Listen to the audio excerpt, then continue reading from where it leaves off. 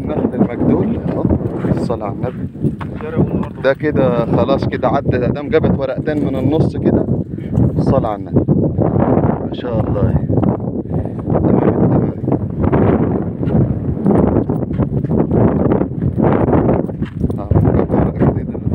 زود كده تمام. دي لو انت رويت هنا. الأرض هنا رملة هتبقى ممتازة هنا الجزء ده أنا كنت عامله تمام الأرض مزرعة 10 في 10 الله ينور يا ريس. اظبط المية. لسه الظبط الدوره بقى.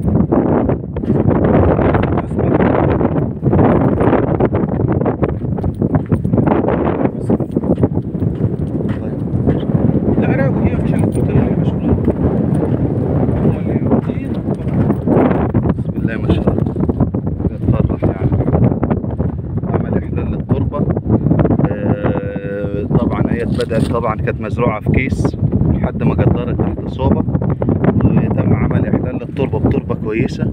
طبعا دي نسبة حديد في المية اللوحات البحرية. تمام؟ وهنا طبعا ده عمل احلال كامل برمل نظيف غزلاجة 10 15 تمام. اهم حاجة ال- الري الاعفان الجذور. مبيد حشري كل فترة مش أقل من أسبوعين أو ثلاث أسابيع.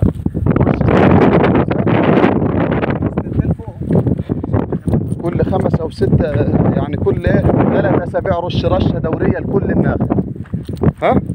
كل الناس. وفطري ومبيد فطري. توكسين مكسيم تمام؟ أي حاجة سيفونات مصايلة ومكسيم آه، أو فوسيتايل الومنيوم تحط برضه يعني مش أقل برضه من كل أسبوعين أو ثلاثة حط لل- للزرع. للنخل عندك مبيد عفان جذور. مبيد حشو. المية مظبوطه ندفي نخلتنا خلاص انت عايز إيه تاني؟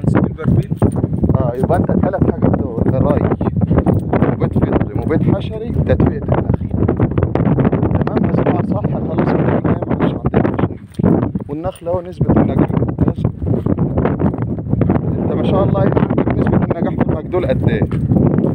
إيه، واللي طالعه ما شاء الله يعني. اللي طالعه من الصوب. في حاجة طلعت فقط؟ في قد خمسة أو ستة من كم واحد؟ من 220 طب زي الفل دول كانوا جايين زيادة. إحنا نعتبر عندنا نسبة النجاح 100% كان جاي برضه خمسة أو ستة زيادة. بسم الله ما شاء الله. بص قلب النخلة ده يتربط. لازم لازم. هيتلم على بعضه دي في النص. اللي في النص في النص بعدلتها تمام؟ وتروح مضمومة ومربوطة كويس. وتتكيف